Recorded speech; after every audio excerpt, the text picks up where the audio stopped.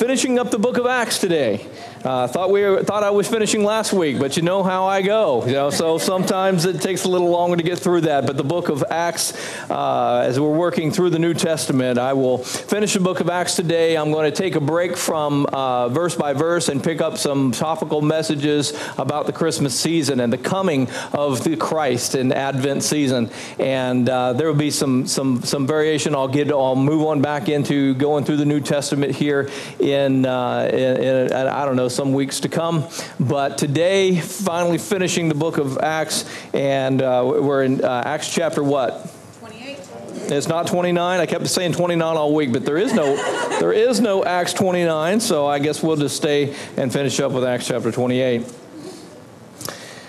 Heavenly Father, thank you for your word. Thank you, Lord, for its power to transform our lives, not because printed words are simply a good suggestion or a pattern of how we might be able to pattern our lives, but because the, the Word of God is living and alive and sharper than any two edged sword, that it is the very living Word of God, that Christ Himself is the Word, the living Word, and your Word in print, Lord, in our hearts transforms us to become more like Christ Himself.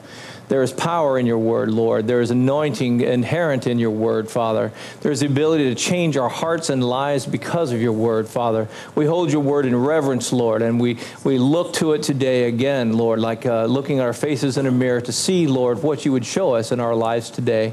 And so, Lord, bless your word, the hearing of your word, the preaching of your word in Christ's name. Amen.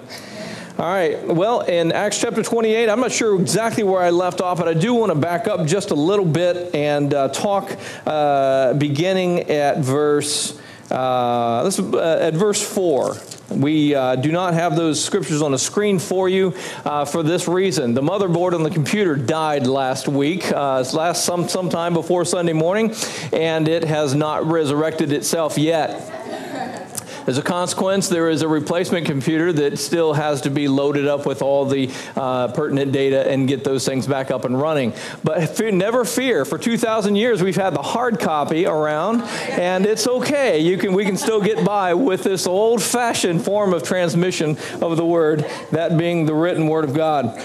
So, uh, as we began the story last week, uh, the shipwreck victims of Paul and those prisoners with him, uh, and a uh, total of 270 something people who had shipwrecked on the island of Malta, uh, south of the, uh, Italy. They had been in a storm for a couple of weeks. They had thrown everything they had overboard. They were in peril for their very life. God promised that He would save all of them, but not the ship. They suffered shipwreck they were treated kindly by those natives of that island of Malta. Uh, a fire was lit, uh, things were warming up, and Paul, who was gathering some fire and making that fire, apparently a snake came out and latched onto his hand. We talked last week about how problems do attach to us and how the, the devil uh, brings uh, harm to us and how what we need to do is shake him back off into the fire where he came from. None of those things can harm us because of he who is in us is greater than he who is in the world world. Is that right? All right, that's what we call an automatic amen getter. Yeah, so when I say greater is he that is in me than he that is in the world, you say, amen. amen. That's right. That's what we call that in Bible college, right? All right, so in Acts chapter 4, it's interesting uh, here where it says that, uh, it says, So when the natives saw the creature hanging from his hand, they said to one another, No doubt this man is a murderer. No doubt.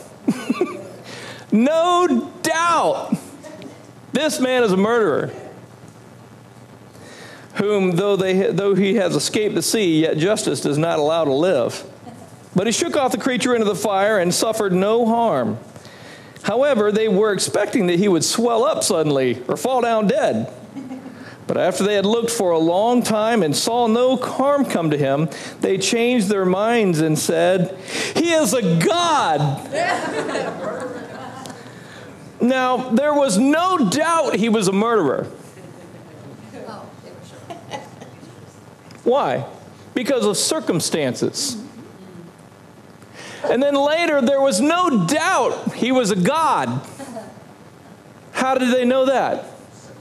Circumstances. Which of those two tr- statements were true? He was neither a murderer nor was he a God. Right? And yet, how many times do we allow circumstances in our life to define who we are?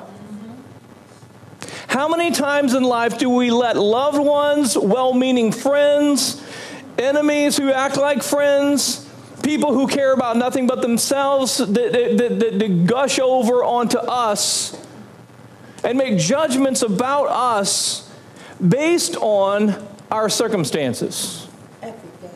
You're broke. You must not be tithing. You're blessed. You must be tithing. You're broke. You must be in sin. You are, you are uh, going through hard times. You must not be in the right place with God. You, you wouldn't have all this trouble in your life if you would just live better. There must be some secret sin that you haven't confessed. Or, I must be really pleasing God because look how well I'm doing now. Things are going good. I must be right, the center of God's will. Circumstances of life do not determine who we are in Christ. So we got to be careful not to listen to the press. The press will say that you're not worth anything, that you are lost, that you must be a murderer. Clearly, you are a murderer. Clearly, you are a failure. Clearly, you're not in the right denomination. Clearly, you're not in the right church. Clearly, you failed and missed somewhere. You should have gone to college and whenever instead of going out there in the workforce. Clearly, you should have went in the workforce and not gone to college.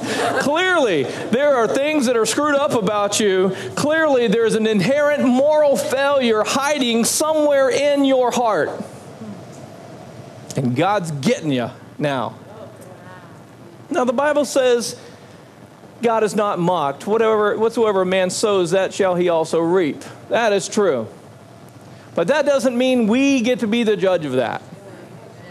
We don't get to judge that in other people's lives. And Lord help us if we start judging that in our own lives. How often do we look at our own circumstances and say, wow, I'm really in a mess. I must have failed at something. Not so often. Usually we think more of ourselves than that. Other people are there to say you're a murderer, you're a failure. But when things are going really good, boy, sure was a good thing I decided to go to college. Because that education that I worked so hard for sure is paying off. Boy, I tell you what, it's a good thing that I worked so hard at work and that, uh, that I climbed that corporate ladder because now things are going good and I really don't need things like I used to. All that I have is really my doing anyway, and I, I don't really need God, but I still think it's important to acknowledge God, and I go to church and all, but, but you know, things are going pretty sweet, and I, I, I'm probably the one who can be thanked for that.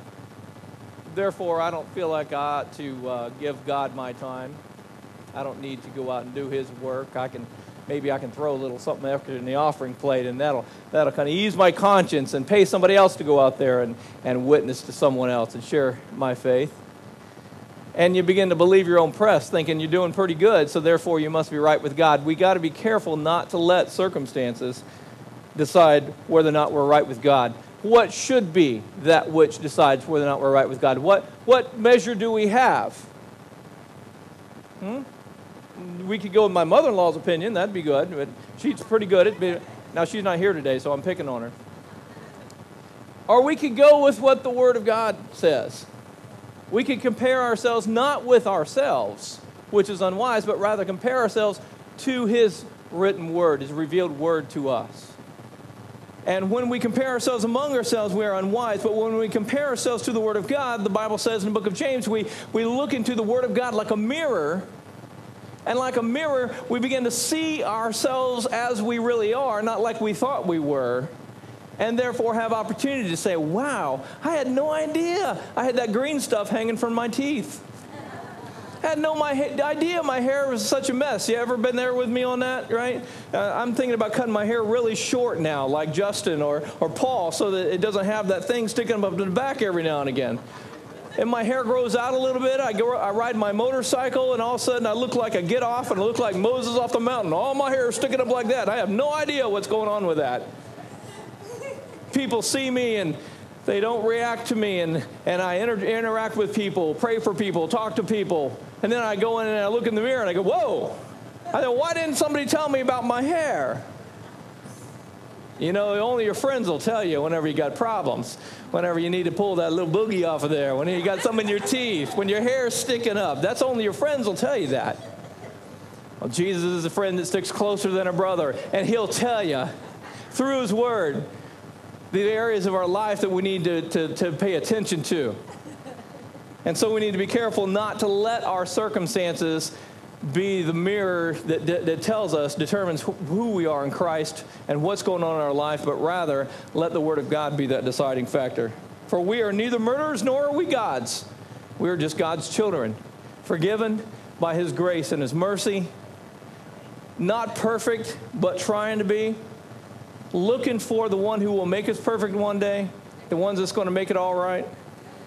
And the circumstances we are going through are not our end. That is not the end of the story. In verse 7, it says, In that region there was an estate of the leading citizen of the island whose name was Publius, who received us and entertained us courteously for three days. And of course, it goes on to tell that his uh, father ended up having a, a fever and a dysentery. And Paul prayed for him and healed him. And there, there were many others from that island that when the news broke out that, that God is in the house and God is doing some miraculous things, people are getting healed, it drew the attention of others, and they came also to be healed. Now, I would love to have a healing line up here where people absolutely get miraculously healed and the word spread to the community such that people are breaking, uh, breaking the doors down to get in here. I would like to see that. It can happen. Now, God hasn't necessarily called me to the ministry of healing lines, but I do believe that this is our inheritance as part of the gospel of Jesus Christ. That when we have need, we call on the supernatural Heavenly Father who has the ability to meet all of our need, including healing our bodies, and He is well able to meet our needs. I got a feeling that many of us are sick and put up with sickness and go to the doctor first and call the prayer chain last because that's the priority we believe is effective. We believe that doctors are more effective than God. And so, therefore, we call the doctor first and God last. The way it should go is we call God first and then call the doctor. Now, I'm not opposed to doctors. Luke wrote two books of the New Testament. He was a doctor. Paul said that he was a blessed physician, a beloved physician. There's nothing wrong with doctors, and we need to use them. We have all been uh, benefited by their, their, their care and their science and their knowledge, and this itself is a gift from God. However, when we ignore the supernatural and begin to live lives that, that, that as if we did not believe in the supernatural, then we become guilty of being hypocritical because we say that we believe in a supernatural miracle working God, but we live our lives in a way with our money and our health like He really wasn't there at all. Like Jesus was just a good idea instead of the Son of God. Like following our faith is simply a, a good moral blueprint as opposed to a lifestyle that leads to life and healing and deliverance. I want to remind us today that there is a supernatural God in the house today. Though Jesus went back to heaven and ascended on high to be with the Father, he said, I will not leave you comfortless. I will send my spirit. And the Spirit of the Holy Spirit of God has been with the church ever since the first century, and his power and his anointing is here today. If you worshiped in spirit and in truth, you felt his presence today. If the word of God speaks to your heart, it is empowered by the Holy Spirit today working in your heart. But there is more power than that. If you raise your hand for salvation today, then supernaturally the Holy Spirit will come into your heart, regenerate you, make you new. That is a supernatural thing. But when it comes to our finances or our health, we're not so sure we want to start with that. Maybe we need to start with prayer and, uh, and, and then end with the doctor. Start with prayer and then end with figuring out what we're going to do with our finances. Because whenever someone was sick of a fever, Paul said, You know what? I'm going to pray, and then we're going to lay hands on you, and you're going to be healed. And then a whole group of people come up and said, I got that need too. We also need to do that. Now, it is, as a side note, it is a is a sad truth that most of the New Testament, including most of the miracles of the book of Acts, all of which I've marked with blue, If you can see that blue highlighter, nothing magical about blue, it's just the color I had. I marked every single miracle in the book of Acts I could find in, in blue to draw attention to it. And then I did a study on who was healed, why were they healed, were they an apostle, were they a layman, was it before or after you know Pentecost? All it was an Old Testament, New Testament, all these kinds of things I did study on, and I found that New Testament believers who are not apostles rarely did any miracles, not because they could not, but because usually they would not. It says in the scriptures that uh, none of the rest of them dared do the miracles that were being done by the apostles' hands. So there were some notable exceptions. Philip, the evangelist, Stephen, the deacon, they, they did uh, miracle signs and wonders and, and did them without an, an apostle being around, without Jesus being around. These things are possible through the church, but we can only experience those things as we believe that God is going to work through us. Now, if you're new today, and we have, we've been getting quite a, a few uh, new folks with us, so I thank you for being here. You might be like, huh, I wonder, wonder where he's coming from. Where did you grow up? But let me just give you a little bit of background. I grew up independent Baptist, which is about as fire breathing, devil hating, devil fighting Baptist that you can come up with. Uh, you know, 1611 King James Version only. Um, did, what was that saying you say? Independent, fundamental, Bible believing, sin hating, devil fighting, devil fighting, uh, ain't got an area, a piece of literature Baptist. That's what I grew up. And then I married an Assembly of God girl. And Pentecostals fly high. And they're usually polar opposites of what the Baptist faith is. I have studied in all these things, and, in, and at the end of the day, if you're wondering who I am, I'm Baptist-Costal. Let's just go with that. I'm somewhere in between. I hope that I don't go fly out weird out into space in some kind of weird tangents, but neither. But I also, my Baptist roots tell me that the Word of God is true and pure and always right, no matter what my opinions are. And whenever my opinions cross what the Word of God says, the Word of God is always the truth. And I see a word of God here that says that miracle signs and wonders are available to the church through his people. Only, only that door only opened by faith and our willingness to be people of faith. If God is going to do miracles in this earth, He can do it through us or He can find somebody else. But His, his will will not be stopped. I want His will done through us. I can tell you right now, if you're looking at your watch and thinking I better go find the door because it's getting a little too weird for me, let me tell you, I do not want to be known as the weirdest church in town. I do not want that, that moniker under a name, you know, Rocket Town Church, a place of weirdos, you know. but if weird means that we see miracle signs and wonders happen as we need them, then that is fine with me. I'm not going looking for problems. I'm not looking for problems so that I can find miracles to solve them. It has been my experience that miracles always happen when there's problems, when there's need. And whenever you go seeking after miracle signs and wonders, you better watch out because you're going to find lots of problems in, in order for those things to occur. So I don't go looking for miracle signs and wonders, but I want them there when I need them. Because in this world we will suffer tribulation. In this world we will have problems. But we have a supernatural God who is well able to handle those things. And we simply saying this that we need to be people of faith who are open to hear what the voice of the Lord tells us to do. I was praying for someone yesterday and I felt like I had a word of knowledge about uh, uh, just kind of a spiritual attack that was going on in some people's lives. And I felt like the Lord showed me something supernatural about the situation in the spirit world that I kind of addressed and I spoke what I thought I saw in the spirit. And I'm like, that sounds kind of weird. That isn't kind of your normal gift, you know? you sure you want to say it out loud, you know? But I thought, no, I, I think I do because I want to call out what I felt the Lord was doing in that situation. The Lord, if the Lord tells you to go pray for somebody, pray for somebody. If the Lord tells you to believe for uh, something, then you believe for it. If God tells you to step out in faith to do something, do it. And let's be the supernatural people of God He called us to be. Moving forward. Uh, they honored us in many ways, verse 10, as we departed, providing such things as were necessary. After three months, we sailed in an Alexandrian ship whose figurehead was the twin brothers, which had wintered at the island. And landing at Syracuse, we stayed three days. Uh, that would be in Sicily. From there, we circled around and reached uh, Rhegium, which would be the mainland of Italy. And after one day, the south wind blew, and the next day, we came to uh, Puteoli, if I said that correctly where we found brethren, and there we're invited to stay with the group seven days. And so we went toward Rome. What I found there interesting is when they got to Puteoli, is they found brothers who were invited them to stay. And not only invited them to stay, but invited them to stay seven days. Now, you're talking about a time frame where the gospel had not been spread very widely yet. It was spreading quickly and it was moving throughout the Mediterranean world, but to find believers outside of Rome in an incidental, uh, relatively small city was kind of a surprise. But the gospel had reached this city, and in that city, there were believers there who had heard that Paul was coming, or had somehow got word that he was on his way or had been there.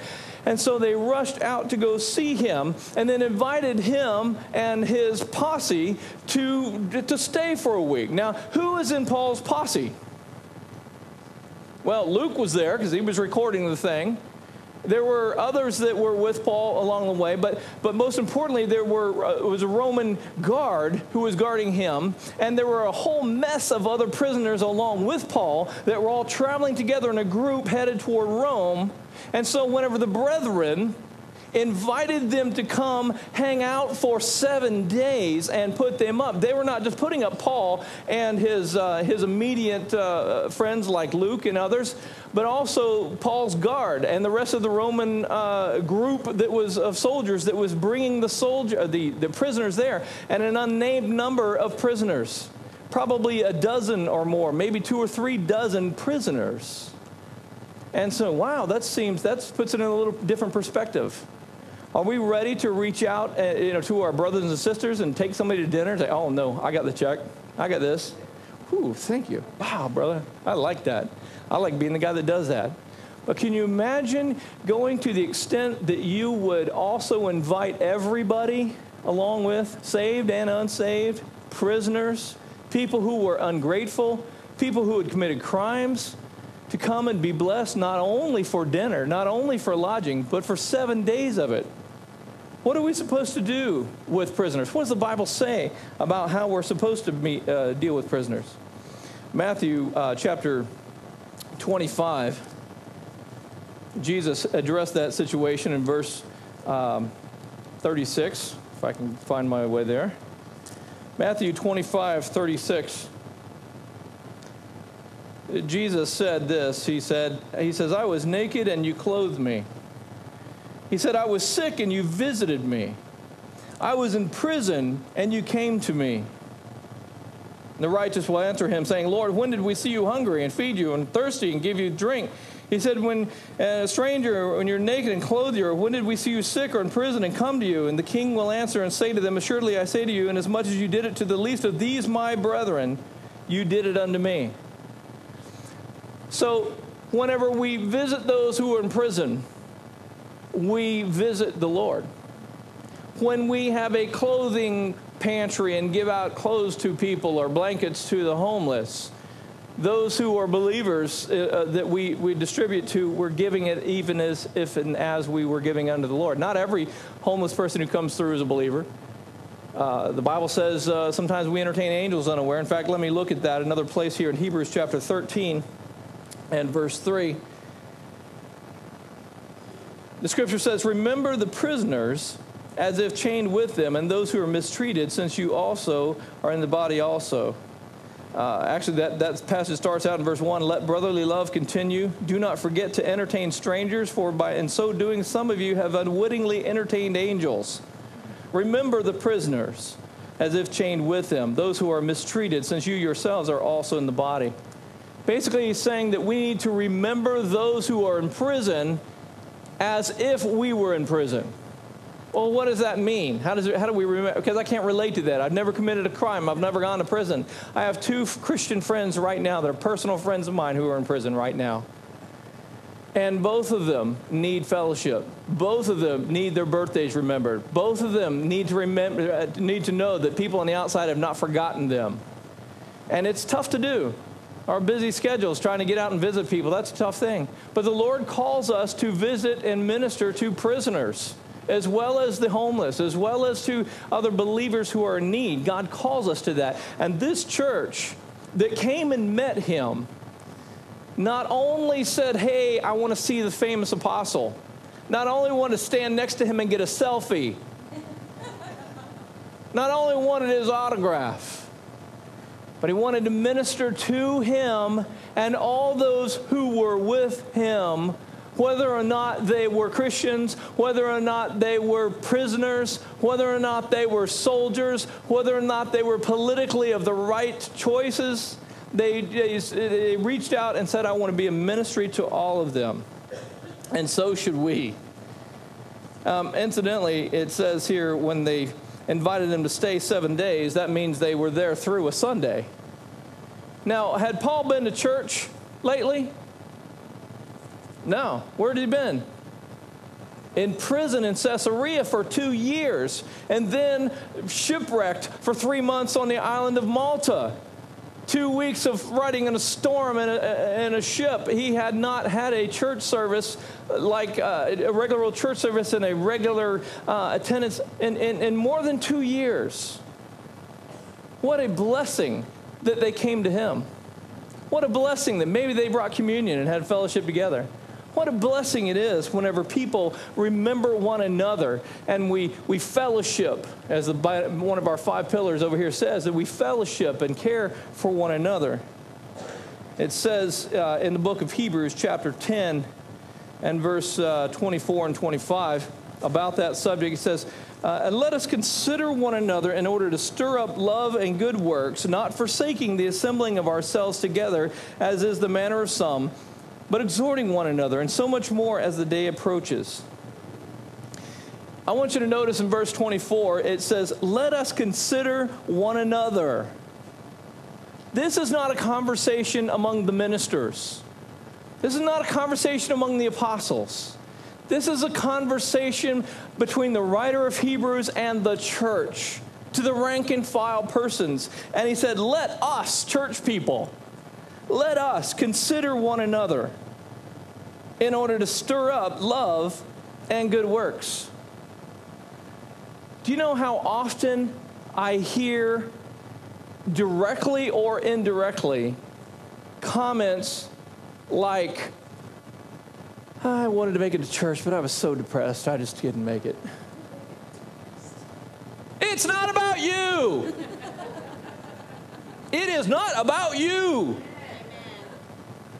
It's been such a hellish week. I just, I just don't know. I just didn't want to bring my problems in and burden everybody else with it. Thanks. Thanks. Let's all stay home next week. We've all gone through problems. Let's just all do that. How's that going to work out for us? Not well at all. If you're having problems, don't stay home from church. It's a place where you can get away from the problems for a little while and get to get some joy in your heart. You, you check your burdens at the door. The Bible says to enter into his gates with thanksgiving and enter into his courts with praise. When we come into his house, we need to be worshiping and praising and loving God. We need that pick me up. We need that encouragement. And when, if we obey the book of Hebrews, we're going to be looking for opportunities to bless other people and we say, I don't feel like coming in today. Uh, you know what? Uh, the only reason I'm coming in today is because there's somebody there that I need to minister to. You see, that's what the maturity of the faith brings a Christian to do.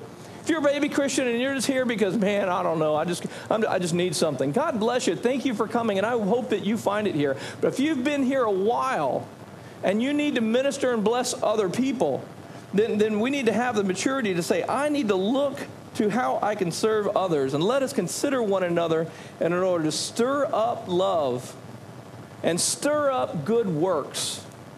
Wow. Stir up love, stir up good works. Stir up love sounds pretty pretty easy. Hey brother, love you. Hey, love you. How things going?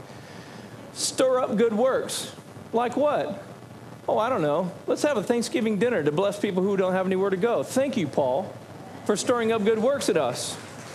Thank you for those who helped Paul and his family in that regard. Thank you for people who decide, I want to uh, serve meals to people who need it uh, around Christmas time. Thank you to each one of you who picked up a can or bought an extra turkey or whatever to minister to people for Thanksgiving, Christmas. We need to stir up one another to good works. That's the value of, uh, of fellowship. So in Acts here, where it says uh, they did this, it says, When the brethren heard about us, they came down to meet us um, wait a minute, I'm backing up. Verse 14. The brethren invited us to stay with them seven days, and so we went toward Rome.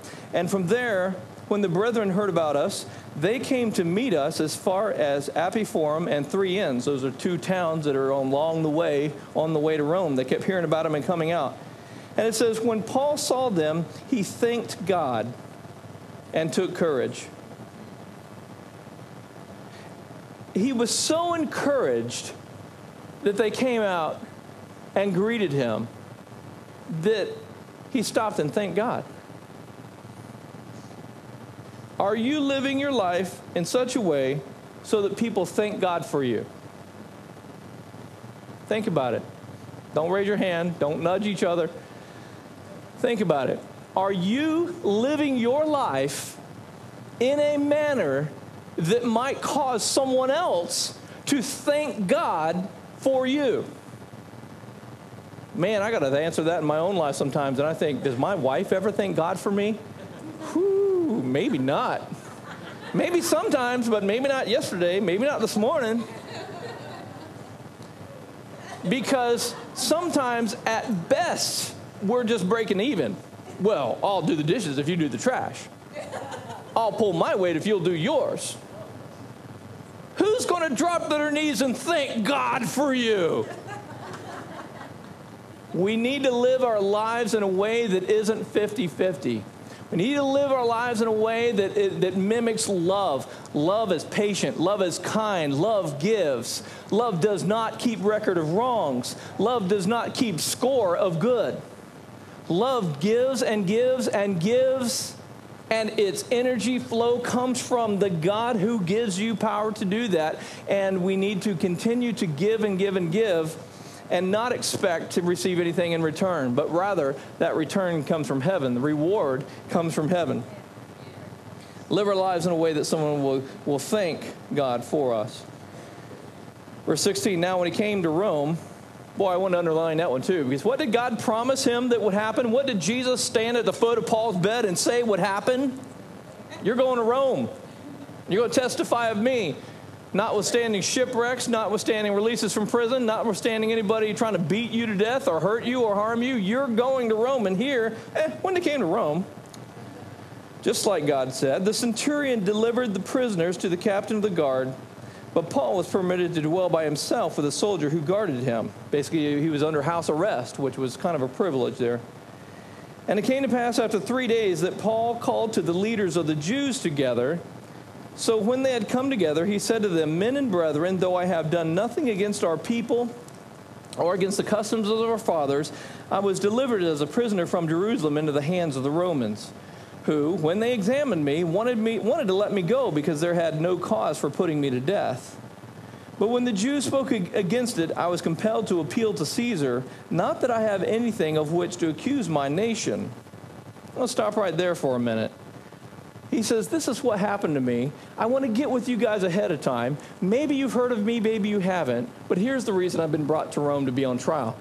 But I want to say a few things to you. And I want to say, while I'm telling you why I'm here, why I'm being tried, and what I was falsely accused of, I want to point out that I don't have anything against my nation. I don't have anything against my Jewish brothers. You see, what he was doing here was he was trying not to polarize. You I mean by polarize? Polarize means to, um, to push yourself to one extreme or the other. Are you a conservative? Are you a liberal? Are you a Democrat? Are you a Republican? Are you pro life or are you pro uh, choice? Are you one polarized thing or the other? Are you Baptist? Or are you Pentecostal? Are you, are you uh, I don't know. You, the, the, extremes go on and on and on. We polarize to one extreme or the other, and we find very few that are willing to find some common ground. Now, there will always be differences of political opinion. There will always be differences of doctrinal opinion. There will always be differences of viewpoint among people. But when we disagree with others, we need to be careful to try not to burn the bridges that might bring us back together. We need to be careful not to polarize to the point we begin to destroy the ability to be able to bring unity to ourselves, to our community, and to others. He says, For this reason I have called you to see you and to speak with you, Because of the hope of Israel, I am bound in this chain. They said to him, We have neither received letters from Judea concerning you, nor have any spoken of the brethren who uh, who came reported or spoken anything evil of you. But we desire to hear from you what you think, for concerning this sect, meaning Christians, we know that it is spoken against everywhere, at least everywhere in their circle of friends. Verse 23 it says, So when they had appointed him a day, many came to him at his lodging, to whom he explained and solemnly testified of the kingdom of God, persuading them concerning Jesus, both of, out of the law of Moses and, and the prophets. I learned a couple things from that. Paul comes to town, and none of the Jews hate him. Boy, that's, a, that's different. He hasn't started any problems there. He hasn't started any churches there. There was already church in Rome at the time. He didn't start that one. He didn't start problems with the Jews. So what's he doing calling the Jews in? Because he said, My heart's desire before God is that, he says, I would rather be accursed from God and my brethren be saved than for me to gain heaven and for all my brothers to be lost. Paul had a, a heart for the Jews. He knew that to go to the Jew first and also to the Gentile the Jew who was, was the, uh, who had received the promise of Abraham, and we Gentiles who were grafted in but he always went to them first. And so when he went to them, he, and he demonstrated this thing of not polarizing, not coming to disagreement to such extremes that we cannot come together. And so there's a way to be able to do that. There's a, a way to de escalate a problem among people who disagree. Number one, in verse 20, he said, I want to see you. It's easy to talk bad about people that you're not in their face, isn't it? So I want to see you. I don't want to speak with you. Because when we don't speak, all we know is what we saw in text. all we know is what we heard on Facebook. All we know is the last thing and the last emotion that we had the last time we fought. And then it stays there, and you never see that person again. And the only thing you ever think about that person again is the, the is the emotion, the hatred, the, the, the, the, the offense that was there. But when you see someone again, when you speak with them and you start a new dialogue, you have an opportunity to move forward. I've experienced that recently in the last couple of weeks with, uh, with a family member close to me. Thank God, somebody picked the phone up and somebody said, Hey, I just miss you and I want to, want to get some loving. Opened up a whole new opportunity to do some healing. I knew God would do it sometime. I just wasn't expecting this week. But somebody saw each other, somebody spoke to one another.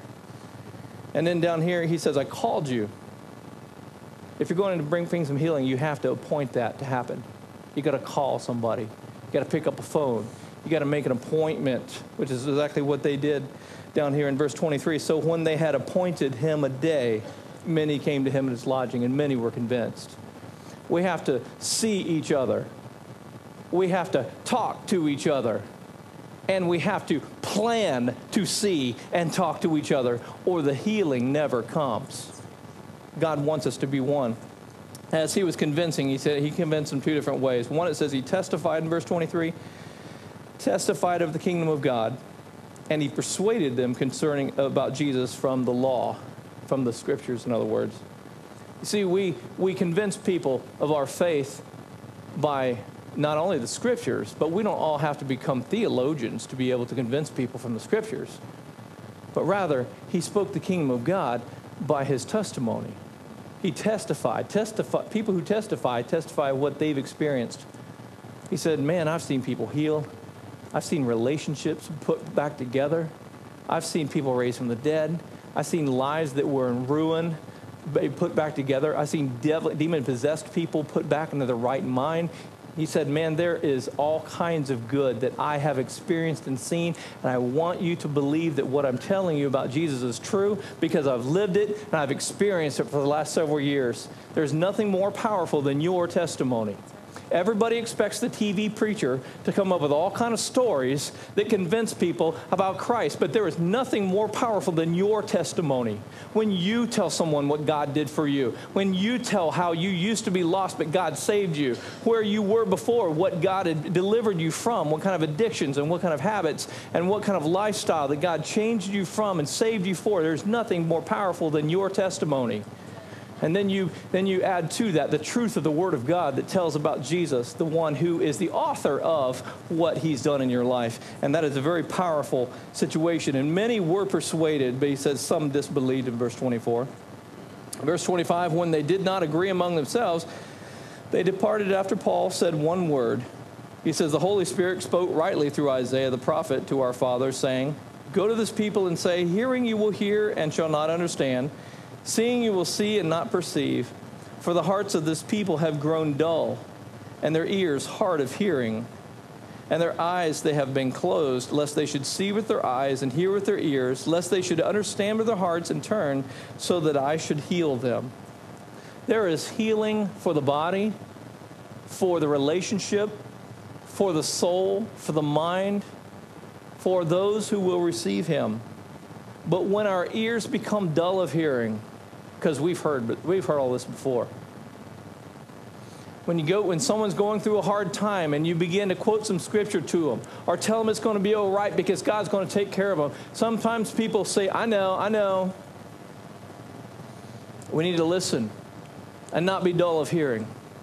We need to hear if God is telling us something new for the first time, something that's going to give us hope, something that's going to give us change, something that says, so that I may heal them. Not just physical healing, but healing of all the hurts that come.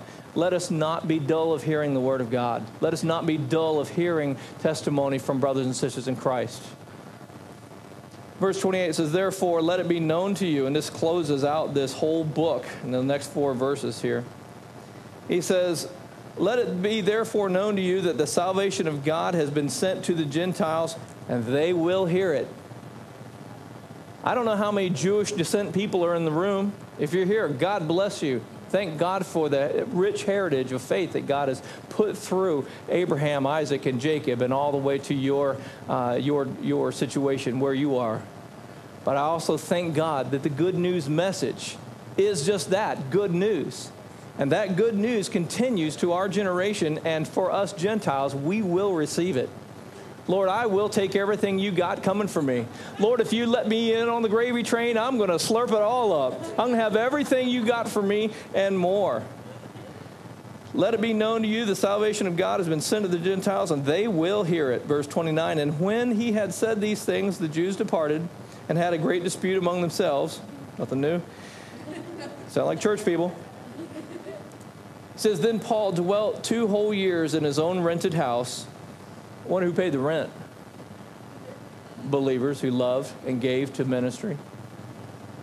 And received all who came to him, preaching the kingdom of God and teaching the things which concern the Lord Jesus Christ with all confidence, none forbidding him. I want to close the book of Acts by reading just a quick passage in the book of Isaiah. Isaiah the prophet, as, as, as Paul was faithful to preach the kingdom of God to them, I'm reminded of those who are recorded in the book of Isaiah who were not faithful to preach the word. And it says in Isaiah chapter 3, excuse me, chapter 5, and verse 20, it says, Woe to those who call evil good and good evil, who put darkness for light and light for darkness, who put bitter for sweet and sweet bitter. Woe to those who are wise in their own eyes and prudent in their own sight. And again, back in verse 20, woe to those who call evil good and good evil. We live in a society today that calling evil good is politically correct. We live in a society today that says the morality issues that the Bible talks about are just old fashioned ideas and that these are things that you really shouldn't judge people about. Please don't judge people, but be faithful to what His Word says we are responsible to continue to tell the good news. It is not bad news that if, you, if you're living in sin, you need to get married. That's a good thing. It's not bad news that if you were live, if that, that you were formerly robbing banks, that you can stop robbing banks and start working for a living. That's good news.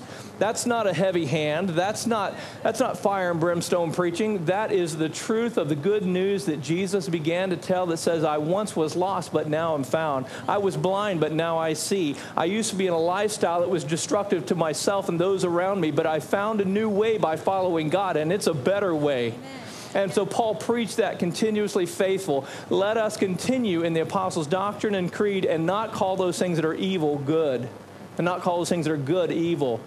As the evil day approaches in our own society and the, and the time of Jesus' return draws near, we will become more and more on the outs with what is politically correct. I encourage you, I urge you not to give in to political to correctness. I do urge you to be kind to all and not speak evil of anybody, but do not shy away from the truth of what the Word of God says. Always do what is right and uh, let God's Word determine what is right and what is wrong. Don't change the, the, the, the, the price tags. At the end of the book of Acts, verse ch- uh, chapter 29, I told you there wasn't, wasn't one, but there really kind of is. Paul was in Rome waiting for trial to stand before um, uh, Caesar. And in that trial, he was to be uh, exonerated or put to death.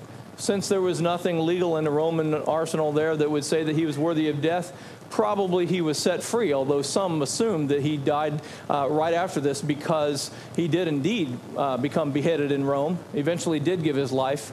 But apparently, uh, history is not uh, a, a, close study of the scriptures of the early church fathers, uh, including Clement of Rome and others, spoke about what happened after this. Now, Luke stops his narrative here because this is where Luke got off the train.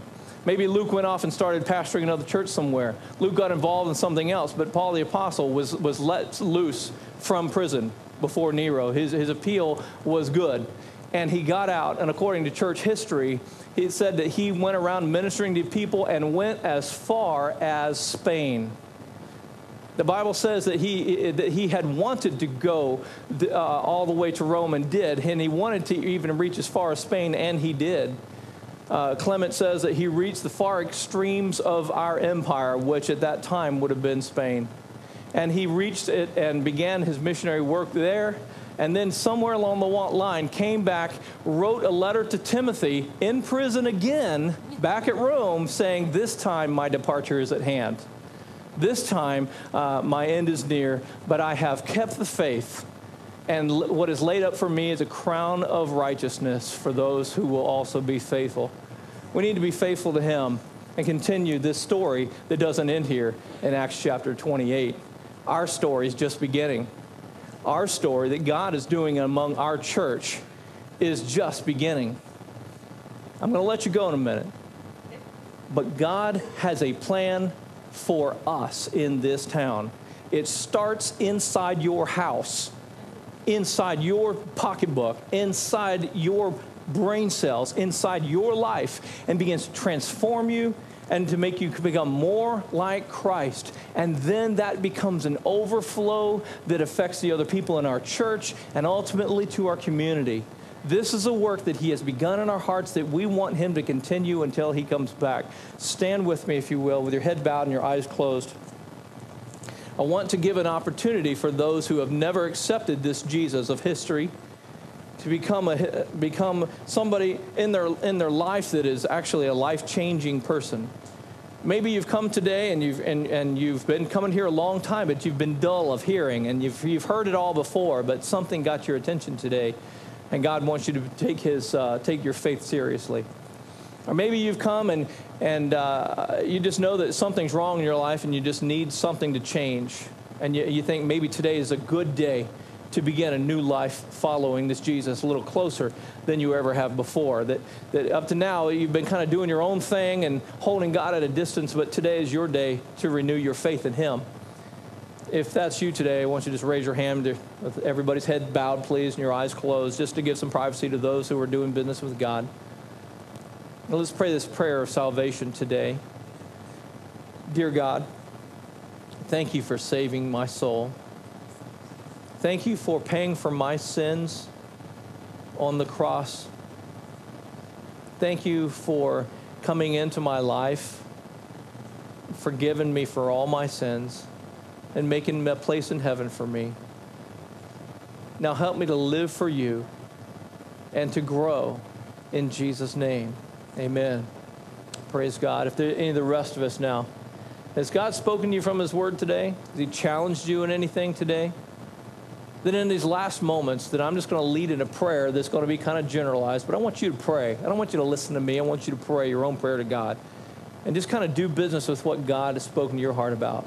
Whether it's sharing your faith or having more faith in Him or not worrying or, or ministering to others or starting a prison ministry or whatever whatever God's spoken to you, I just want to do some business with Him.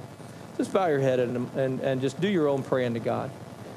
Lord, I pray that as we pray these prayers, they'd be prayers of commitment, prayers of, of, um, of changed lives and hearts. Lord, I, I pray that you would help us to hear your word and respond to your Spirit's leading in our heart. Help us, Lord, to care for one another. Help us to go over and above, as the scriptures show, and caring for those inside our own faith household and even those that are without. Help us, Lord, to believe for healings, for uh, financial blessing, for all the things that are, are, are needed to be met. Lord, help us to be people who are committed to our, our walk with Christ and who are ready to grow up in our faith, Lord, not being content to only be saved and only have a ticket to heaven. But Lord, give us a holy hunger inside that says, I want to do more. I want to do more for my Savior. I want a new priority system that prioritizes the things of God over the things of my life. For your word says, Seek first the kingdom of God and his righteousness, and all these things shall be added unto you. Help us to be people of faith, people who worship and praise, people who, who uh, do what you want us to do. Thank you again for your word today. Bless those who are not able to be here today, Lord. Those who've had a bad report from the doctor today. Lord, for those who are going through struggles and trials financially and relationally and, and emotionally and through uh, great harm to, to body, Father, I just pray in Jesus' name that you would meet their needs. Help us to be a people of prayer. And in all these things we pray in Jesus' name. Amen. If you're new here today, thank you for coming.